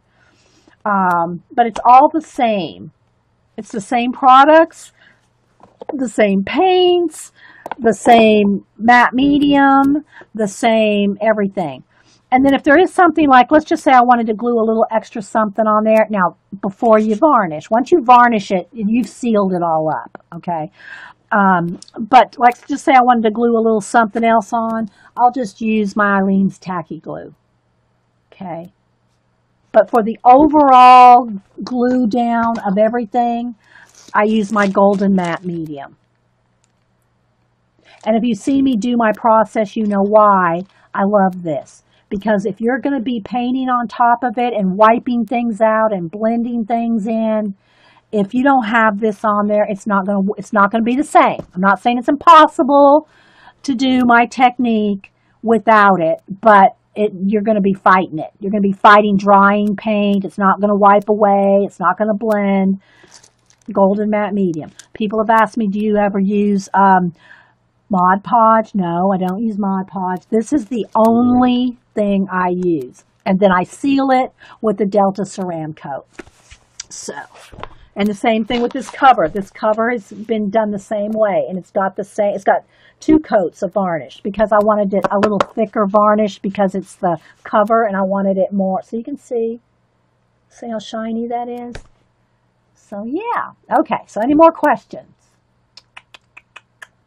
Yes, the gel medium is thicker. This is just the matte medium. It's not the gel. The gel, this is liquidy. It's very liquidy. It's like liquidy. Whereas the gel is like almost like um, you know toothpaste like consistency. It's it's a gel. Um, yeah, UHU. I will use my UHU glue sticks. Um, the only time I'll use a UHU glue stick in my collage is like if I just want to tack something down to hold it till I get back to it. So, for instance, like if I just wanted to, I don't even know if I have any bits in here. Do I have a collage bit in here? No, I don't. If I just wanted to tack something down on a page, I would just, you know, put a little bit of UHU glue on the back and just tack it down to hold it in place. But I don't use this to glue things down. Okay. You know, I mean, there may be the occasion where I've done it just for convenience for a minute. Uh, but it's not what I use to glue things down. This is what I use to glue everything down. Uh, now, what I'll tell you what these these are my favorite glue sticks, and somebody asked me about that. I love my UHU glue sticks. I used to be purple, now I went to blue. I don't know if there was some kind of controversy over the purple dye or what. Uh, but anyway, and it doesn't matter to me if it's clear, purple, or blue. It all works the same. However, what's nice about the blue or purple is you can see it you can see where you've put something down. It does dry clear, but when you're gluing something, you can see it. What this is good for is, um, let's say I want to cover, let's just get something here. Let's just say I wanted to cover a, um, say a composition book. Let me grab one. Let's say I wanted to cover this composition book with scrapbook paper or whatever kind of paper. This is excellent for doing that because it won't um, it doesn't wrinkle. Now, I would, this is still my favorite. This is still my favorite if I'm going to glue things together, especially uh, like on a heavy cardstock on, a, uh, what do you call it, a chipboard. As long as you smooth this out, as long as you take your glue and um, Smooth it all out. Don't leave it all lumpy and bumpy because that will leave the lumps and bumps in whatever you're covering. Then I, I love my uh, tacky glue. But if you're doing especially thinner papers, this won't leave any bumps the UHU enabler, yes. This won't leave any lumps and bumps as long as you, you know, don't grind it down and, you know, make it all lumpy. But if you cover something with this and put it on your paper as well, I always recommend doing that no matter what you're doing, what you're gluing. And I do it whether I'm using matte medium, a UHU, or Aleene's Tacky. I put the glue on both things, the, the paper and the substrate. Um, but I love my I love my UHU for like glue books or you know your general like not heavy project where you're going to use it all. I mean it it holds. Trust me, it's my favorite. It's my favorite glue stick is a UHU. Okay, so I'm trying to think of anything else I might cover while we're doing the product chat. I'm just kind of looking around seeing what that might entail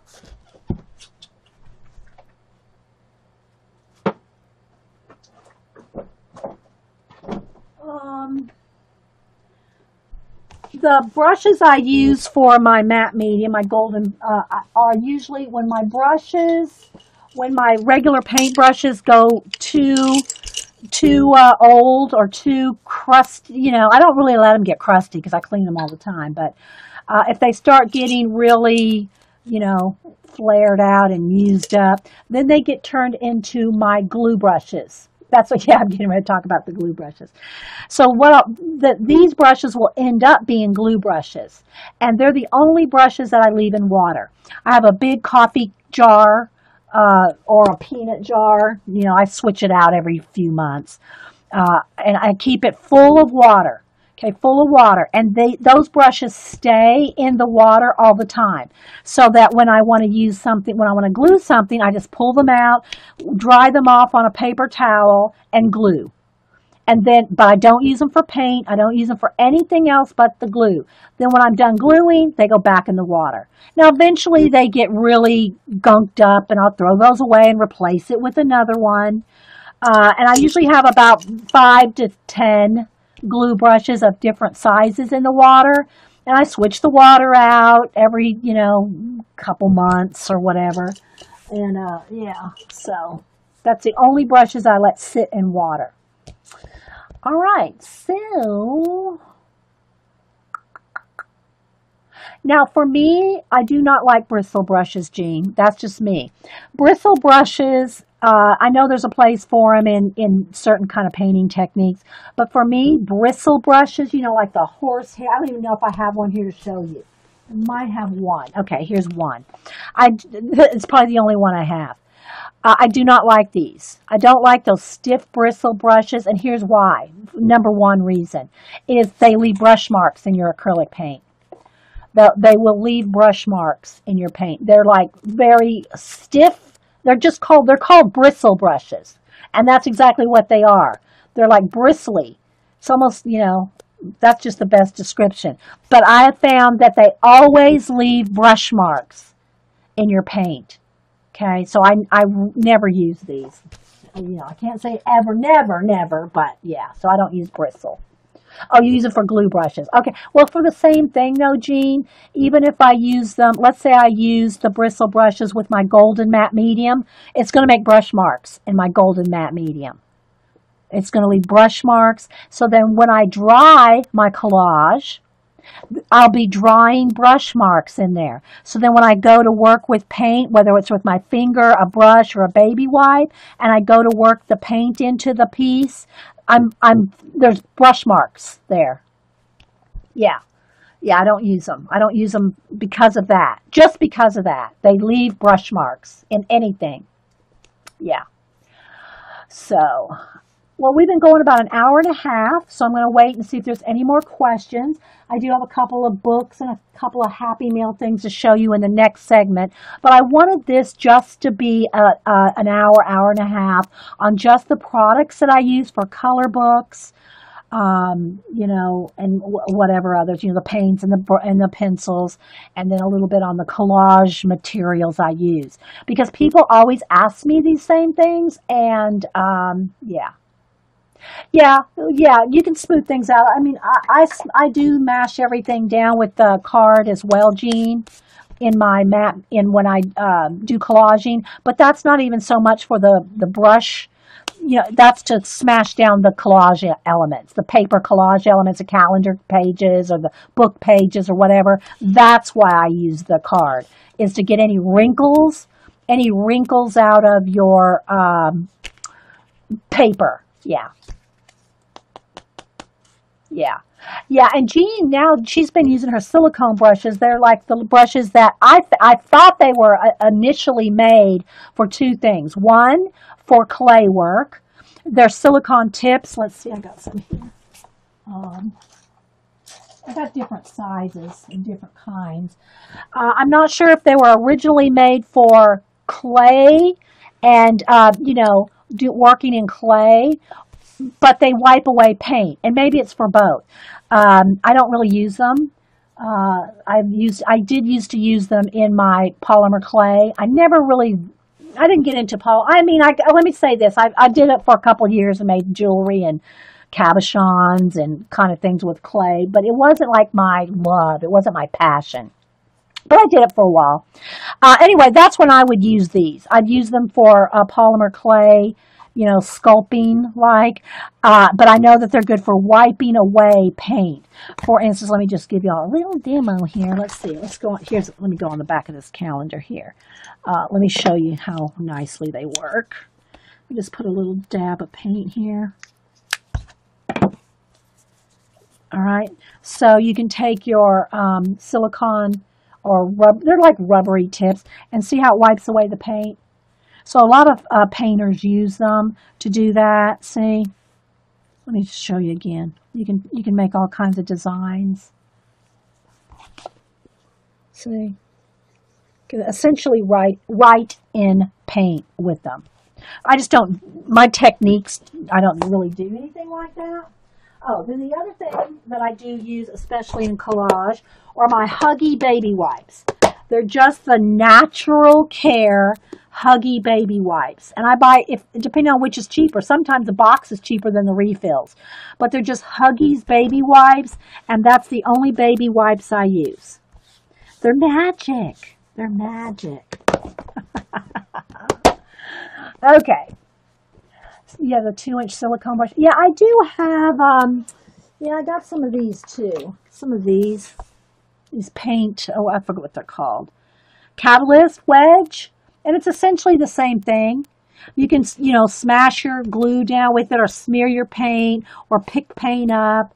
You know, I just don't use them. You know, I just find that I don't really use them. I bought a couple just to play with. They sit here and I don't use them. So, oh, the other thing is the craft scrubby. The craft scrubby. which I did not have for years and years. and everybody goes, you need a craft scrubby. It'll get the gel, uh, the, I mean, the matte medium off your hands because that's, that's a tricky business there is getting the matte medium off your hands, especially if you got fingernail polish on. Um, and you're and you do a lot of matte medium and collaging with the matte medium. I'm getting some of the marker off my hand now. Um, it, it's it's almost impossible to get out without uh, fingernail polish remover. And that's how I used to get the matte medium off my hands because it would crust up and dry. I'd sit here for hours and hours and hours in collage and matte medium and that would literally have, you know, a thick coat of matte medium on my hand. I, I mean, I would try to, you know, keep as much off as I can with baby wipes, but it still dries around your nails. And the only way I could get it off was with fingernail polish remover and a lot of scrubbing. Well, Yes. This thing weighs nothing. I mean, you can barely feel it in your hand. And, you know, you think of like a pumice stone. This is more like styrofoam. But I don't think styrofoam would do what this does. This, if you get it under your water, uh, warm water and your matte medium, and you can, it doesn't cut your skin. It does not hurt you at all. Look, I'm rubbing really hard. It's not even scratching me. It's a miracle. It really is. These little scrap scrubbies. So if you get it underwater and you scrub, you can get all your matte medium off. Now, I can't guarantee you're going to get it off of all your nail polish. That's going to a lot might depend on the kind of nail polish you have, but it'll get it off all your skin. Love this. The craft scrubby. Yes, I will be a craft scrubby um, it is total magic. Everybody's going, magic. Judy Hootie says the nail buffers are almost the exact same thing as the craft scrubby, but cheaper. Well, but they're not this big, are they? I don't know. I don't use, I'm not much of a nail girl. I mean, I put the nail polish on. It gets crusty throughout the day or a couple of days. I take it off and I put a new color on. That's the extent of my nails. I don't use any kind of acrylic nails or anything. I like my nails short because of all the work I do. I do not let my nails really get past the edge of my fingers because they get in my way. Nails get in my way of my art. Okay, so I think I'm going to stop there. Um, I mean, there's tons of other supplies that I do use. You've seen a tour of my room. Uh, but those are the essentials and a spritzer of water. These little uh, a little bottle, you know, like this. So if you have your paint water is dirty and the where you clean your brushes, you can you want something like this where you can squirt out clean water. Uh, that's that is important. Um, so yeah, that was the best five dollars you ever spent. Yeah, and see, Gene, I got mine on I got mine on clearance for two. That was the clearance department for two. Okay, so yeah, any more quick questions? The big ones are kind of like pumice stones. Yeah. Pumice stones are rough. Yeah, the scrubby's not rough. That's the thing. The scrubbies are not rough. It's almost like the, it's like the softest kind of styrofoam, but it doesn't flake off like styrofoam would. you know, if you try to rub something with styrofoam, you know, it's all falling apart. This doesn't. This doesn't fall apart. Okay, guys, well, I'm going to stop this video, and if you're watching on YouTube, uh, thanks for watching this uh, product. I don't want to call it a product review or what I use. I guess I could just say some art supplies I use because, um, and it's not all of them, but it's the main ones that I use for color booking, uh, portraits, the paints I use, and the collaging that I do, which seems to be the bulk of what I do these days. So, yeah. Yeah, wax paper. Wax papers, you need wax paper in between your pages so you don't glue them together when you're in an art journal. Or I'll put wax paper down on here uh, if I'm doing my art cards. My table is just covered with a roll of black craft paper. And there's probably about five to six roll. Uh, I don't take it off. I just put another layer on top and then tape it with uh, either duct tape or packing tape along the edges of the tables. And it's just because it's a big roll and I can roll it out, tape the edges. When this gets too dirty, now I gotta say though, this has probably been painted three times.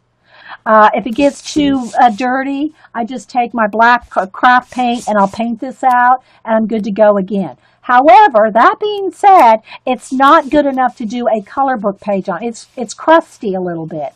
It's a little rough. So you don't want to take an individual uh, drawing or art piece and put it on here. I wouldn't. And try to do any drawing because you're going to pick up all these lumps and bumps.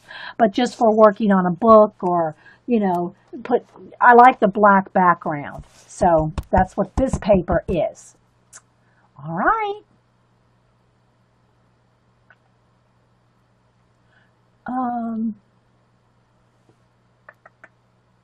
What about the paper I use? Okay, for what, Busy Jill? For portraits? Um, be a little more specific. If you're talking about portraits, my portrait uh, paper is, um, let me get one here.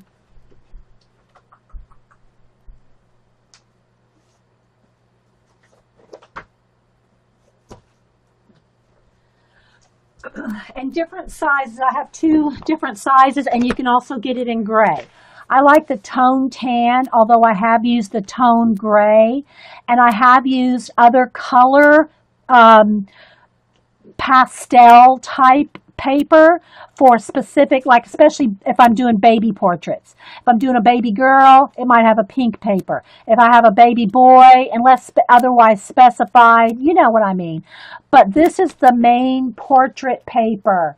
Oh, for collage, I'll collage on anything, Busy Jill my uh, that book I just showed, that was the Dylusions journal with heavy cardstock, but I'll use any kind of cardstock because like for my instance, my art cards, by the time I have um, matte medium, paper, paint, and varnish, and I also paint the backs. This one's not painted, but I paint the backs. By the time I do all that, that this little bit of uh, maybe this was a 60 or 90 pound cardstock. Look how thick that is now because of all the layers on it. So yeah, I'll just use any kind of cardstock, any kind of cardstock or art journal for that matter. And because by the time of all my layers, all the layers I used thickens it up. Okay, so that's the kind of paper I use. This is the paper I use for my portraits, tone tan. So for instance, let me just pull one out here. Like here's um, here's Mistel, like here. So here's one of my, uh, and again, it's going to want to flash out a little. Let me see if I can get the color back. Here we go. Let's see if we can get the color back. So, yeah. So all my portraits are done on tan, tone tan paper. It's acrylic paint in like the hair and the clothing, but the faces are all color pencil. I might have a, like a little dot of paint in the eye for a highlight or something like that. But a base coat, I'll use base coats of acrylic paint on um, hair or clothing and then go over it with pencil. But all the faces and everything are done in color pencil.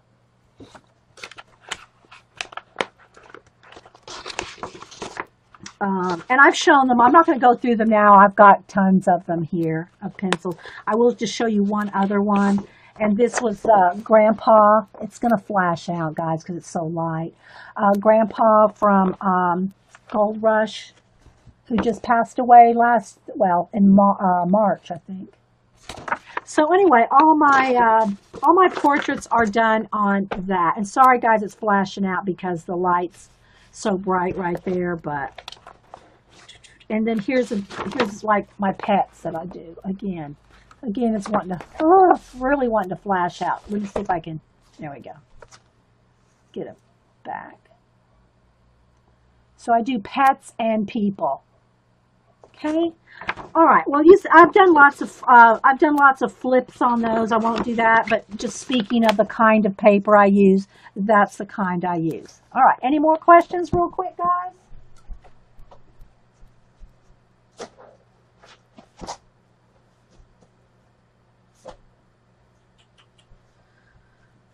Kind of looking around and seeing if I missed talking about any particular supply. All right, then I'm going to go ahead and stop this video and I'll be right back. We'll do some coloring or a project or something. I'm going to take a quick break and get some coffee. And if you're watching on YouTube, thanks for watching, guys, and I'll be right back. Okay, there we go. Okay, welcome everybody to Coffee and Art in the Morning, Monday morning streamage. Thanks everybody for being here. So, um, I already talked to everybody. Hopefully said good morning to everybody I saw in chat. Thanks everybody for being here. If you're watching this on YouTube, this is a live recording with a live, mostly live audience. we have a live chat going on during these shows and uh, they're not edited. They're just uploaded directly to YouTube as soon as the show's over. And uh, so thanks for watching over on YouTube on the recordings and thanks everybody for being here in the live chat Monday morning. So I think what I'm going to do uh, today is I get so many questions on the kind of products I use in uh, just different things, especially though in color books. Like here's the one we worked on last week. So uh, I think what I'm going to do is go and talk a little bit about uh, some of the products that I use for coloring, color books and, and other things, you know. So, because I get so many questions on them. And then that way I'll have a video directing you to, you know, to direct you to on a lot of the products that I use. I'm not sponsored by anybody. I'm, uh, nobody's paying me to talk about any of these products. They're just products that I use that I like. Uh, and not saying I'll never change anything. I always add new things like my, uh, watercolor markers that Eileen sent me, things like that. So, but I will try, try to talk about some of the products. And if y'all have any questions in the chat, just put it in caps so I know you're talking to me and not just chat rolling by. So first off, let me just talk about, I pulled out two color books here. I pulled out my Animorphia and my Imagimorphia because these are two that I've worked in recently. This one we did a video on last week. And um, so I'm just going to kind of talk a little bit about some of the things that I do. Uh, for instance, the first thing I usually do in a color book page, and this is just my technique. It's not like the you know end all be all technique. It's just how I do color book pages. Because I do commission portraits, uh, people and pet portraits, I don't want to spend days and weeks on a color book page, although there's nothing wrong with that. If you have the time or the inclination to spend many hours on a page, there's nothing wrong with that. And I have spent many hours on a few pages and done classes. Well, I don't know if you call them classes, but demos and show how I um, how I've done them. But for the most part, I don't spend days and weeks. Uh, Carrie, do you find a magic um, uh, Animorphia is a bit harder. Now, I haven't noticed a difference. I'm not saying there's not one, Carrie, but I haven't noticed. She's asking if I've noticed a difference in blending um, it, it, between these two. I've not noticed it. Uh, uh, you know, I just haven't. So um, anyway, what I want to show you is how I usually start out and the products I use for starting a color book page. Uh, I have had some odd comments sometimes because people don't have only watched maybe a couple of videos or haven't watched enough to see that when I'm doing a wash that that's just a base It's not my full color book, you know, how I color a page. So I think sometimes when people just see me do a wash on the, uh, say, an animal or paint a background, they're going, well, you know, what? Because they haven't you know, they'll stick around for the whole shading process. So I'm going to just like, let's just use this for an example. All right, so um, I'm going to talk about the colors that I use, I mean, uh, the products I use as I do a little bit of demoing. I'm not going to do a full on page right now, might do that later. So the, the paint that I use to do washes, and by wash, the, the paints I use, and that's what a wash is for me, okay? It's just a wash of watered down acrylic paint. Okay, and again, the color pencils that I use are Americana, I mean, Americana, Prismacolor Premier. All right, that's just uh, the the new, you know, that's what they call themselves now. They've gone from Berol to Sanford to Premier, uh, and but it's Prismacolor. Okay, and that's what I use to go in and shade. It's also what I use uh, for color my color pencil portraits is um, is uh, Prismacolor. All right, so I think that covers the paint and the con the brand of pencil. Again, right now, if you're just coming in, this is a live chat. If you're watching on uh, YouTube, it's a live chat on Ustream, and I'm talking to live people, answering questions and talking to people. So, um, you wait for me to go test the color books. Oh my gosh.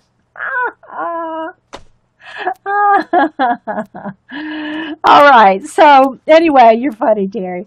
So anyway, uh, I'm doing this. I'm doing this little segment here on the products and some of the techniques I use because I get the same questions all the time. Like every day, I get a message or an email asking me what paint I use, and I understand that if I if I color in a color book and I happen to not mention it, then people that will be the one video that people will see and say what is it? Well if i if i make this video i can direct you uh, know everybody to the products and some of the techniques i use.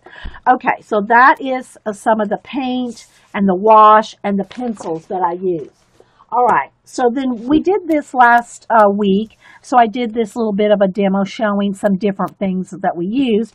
Um, oh, let me just show one more thing in here. Let me go back to this. Uh, it's a good one to do a demo on. The other thing that I want to talk about using acrylic paints is when I do a background.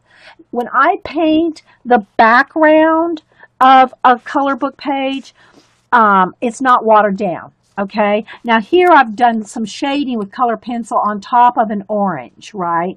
Now, um, I'm not sure what color background I want this to be. A lot of times I like black, but I have, in this one, I've done many, many different colors. I probably don't need to show that. I can just tell it. Uh, many colors in here just to test out different background colors. I'm trying to really, I would love to finish this whole Imagimorphia uh, color book eventually. So I just do different colors in the background. Here's one with the black in the background. And it is a little flashed out, guys. Let me kind of, if I tilt it forward, you can see what it really looks like. Well, it's still got a little bit of a shine to it, but I think you get the idea. Um, I'll just paint a flat color in the back with uh, whatever color. I don't even remember which one this was. It might have been Prussian blue. I don't remember. The background could have been midnight blue. But um, the background is not watered down. So when I paint a background and I just want a flat, matte, color background that I can go over with color pencil. See the color pencil here? And then I have also splattered stars, but the color pencil on top of the acrylic paint just works like magic. It just is awesome. So, um, yeah. So the background color is flat. Now, if you're using certain colors like uh, some yellows, uh, lime greens, uh, some reds, they're a little more translucent than other colors. So you may have to put two coats uh, you might, you know, it won't be a flat matted color with some colors because they're just more translucent than others. And if you want that nice flat uh, matte opaque background, you might have to put a couple of coats. And that's going to depend on the color and the brand of the paint.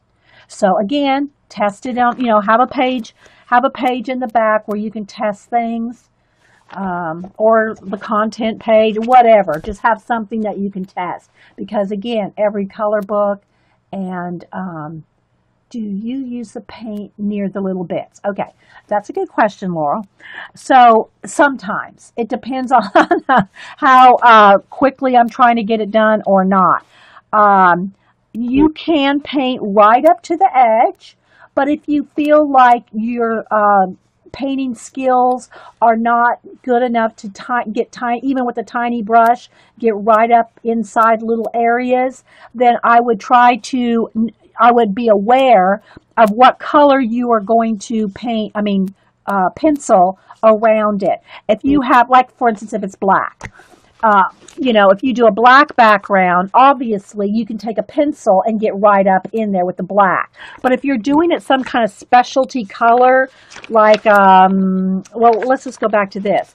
Uh, if you're doing um, the background like this midnight blue and you didn't have that exact color pencil, it's going to show. So in this case, I wanted a lighter color blue. I wanted to make like a glow kind of around the watered area. So I knew what I, going into it that I was going to do that. Okay. Uh, even if you don't know you're going to do that, if you don't have the exact color, you could do that on purpose. You can put like a glow or another, you know, co complementary color or even a contrasting color because your pencils will go over the flat matte pencil. Okay, hey Pam. So it depends on how much time you want to take. Um, if you want to get in there with every little bit, like I knew that this was going to be the lighter color, so I just penciled all the rest of that in. But if you want all that background, those little bitty bits with the same background color, you're going to either have to get in there with a brush or a pencil or something at least kind of close to the color. Yeah, yeah, so that's gonna that's gonna matter. The paint and your pencil, you're, you're gonna have to know, do I have that exact color pencil? And you probably won't have an exact color pencil, you know, and depending on how much difference there is between your background and the color pencils that you have, you'll have to work with that. Or you'll just have to have a tiny little brush and paint in there. Get in there with a tiny brush. It, just like you would with the tiny, with the pencil or a marker or a gel pen. And speaking of which, let's go back to the castle here. If you were watching last week, I was trying to use all different kinds of things on this page to show some of the uh, different uh, products that I use in a color book page. So after we did the uh, wash of the castle, here you can see it's mo mostly just the wash. Then I went in here and started shading with a couple of colors of uh, color pencil, and I don't I don't use um, 20 shades of whatever color I'm doing on a color book page unless maybe it's a face or something special or a large image with a lot of, uh, you know, big imagery of clothing or something where I'm going to need more shades of color. But when I'm doing something this small, I'll usually stick to two or three colors in something this small to shade with. Gosh, I just mean watered down acrylic paint. And the acrylic paint I use is just Americana craft paint. Okay, it's Americana craft paint, and it's it's just a matte craft paint. It's not the satin, it's not the gloss, There's, and it's not the uh, artist grade in like in the tubes, you know, like a golden or a Liquitex or a you know a, one of the artist grade paints, uh, acrylic paints are in a tube. They're, they seem to have a, a, binder or a sheen to them. Not that there's anything wrong with that, but for, to color over a um, acrylic wash, I found that a matte craft paint uh, it allows you, gives the page a little bit of tooth, but completely, you can completely go over it with pen, color pencil. I've shown you how I've taken black paint and black color pencil, solid black on both, and how you can't get back a white on top of a black color pencil no matter how hard you scrub on it. But with the black acrylic paint, you can just take a white pencil and lightly go over and you've got white right back. So, um, and the other thing, the pencils that I use are, let me get, a, where's white or black right here. The color pencils I use are Prismacolor. Prismacolor Premier, although I do have some of the older ones like uh, Berol and Sanford, but now they, they're called uh, Prismacolor Premier. And uh, that's pretty much the only color pencil I use. I have a few other brands, some Polychromos and the Luminance and a few of other colors, but I don't have enough uh, to really talk about how well they work or don't work because I'm so used to using Prismacolors for years and years and years and years because this is what I use to do my color pencil portraits. So that's also what I use in my color book. So, so let me just show you here a little bit. I'm just going to squeeze out a little bit. This is called Oxblood. It's kind of um, a little bit on the red side uh, of sienna. And what I do is I just take a paintbrush. Let me grab one here and I just wet my brush, just get it damp here, and uh, before I put it in paint. And now there's a couple things you can do. You can either just wet your brush and pull off some paint into the wet, you know, into the water. Or if you're going to be doing a large area, you know, just take a water spray bottle and wet it down like this and then just get it wet.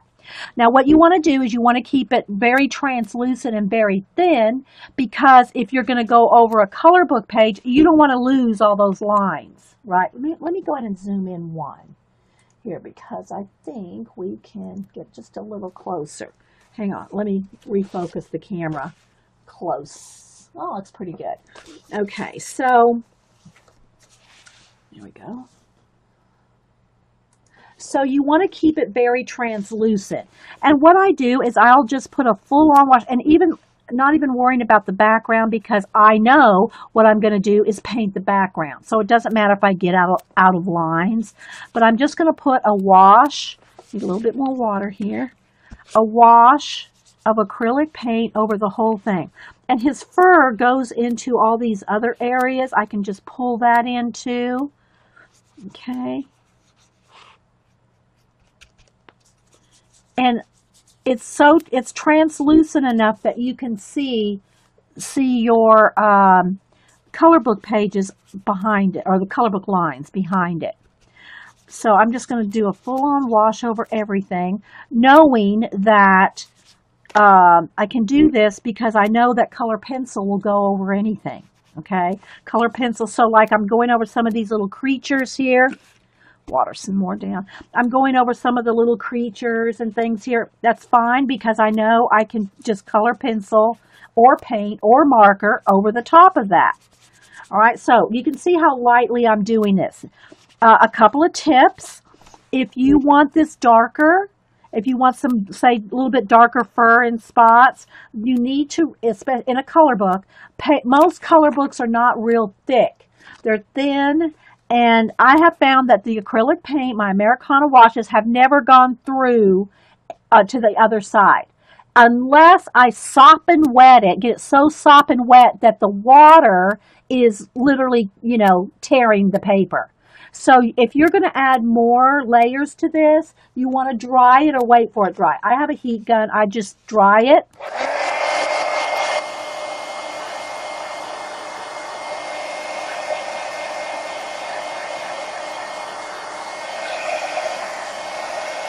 and you want to make sure it's really, really dry. Not just for not just for another layer of paint or another wash, but especially before you go in here with color pencils. You want to make sure it's 100% dry before you go in here with color pencils. Because if you don't, the paper's just going to peel up or you're just going to tear right through. Hey, Leah, anybody else popping in? All right, so now if I just want to add a little bit more of a wash, just a little darker, say in some of the fur areas. It's dry there, so I can add another layer, okay? So I just want you to kind of see how I um, approach the acrylic wash. Because I always get people asking me about, does it go through? Does it, uh, how do you see the lines? It's because I'm doing very thin washes okay? Very thin washes. So I just wanted to do this little bit to show you how that works. So uh, again, you want to make sure it's dry before you go in there with color pencil and start doing shading. Okay, I know he has a cute face, doesn't he, Eileen? All right, so let me go ahead and dry this real quick so that when I close the book, this paint doesn't transfer over there because it's wet.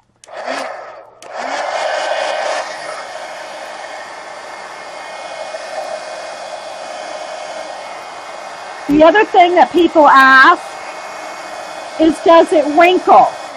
And that the wrinkling and the buckling of the paper with the water will depend on how thick your color book pages are. Every color book paper or um, every color book page you use is different. So you always want to have a back page where you can um, test test your pencils, your pens, your markers, your paint, how much water you can add. Always have a test page in every book because every page is different. Okay, every color book is different, the thickness and whatnot of your paper. Um, so yeah, so that was just using, this one's called Oxblood. It's Americana. Again, I use Americana paints uh, really almost exclusively. I mean, I might have the off brand here or there, but, and they're not sponsoring me. No one's paying me to say this. I just like Americana. I like the colors. I like the coverage. I like everything about them. So uh, that's just the, the brand that I prefer. Also, they, it is a matte. Again, it's not the, there, there are DecoArt, satins, and glosses. The pencil will not go over the same with gloss and satin paint. You have to, you know, have a matte paint, whether it's Americana or whatever you want, but always test it. So that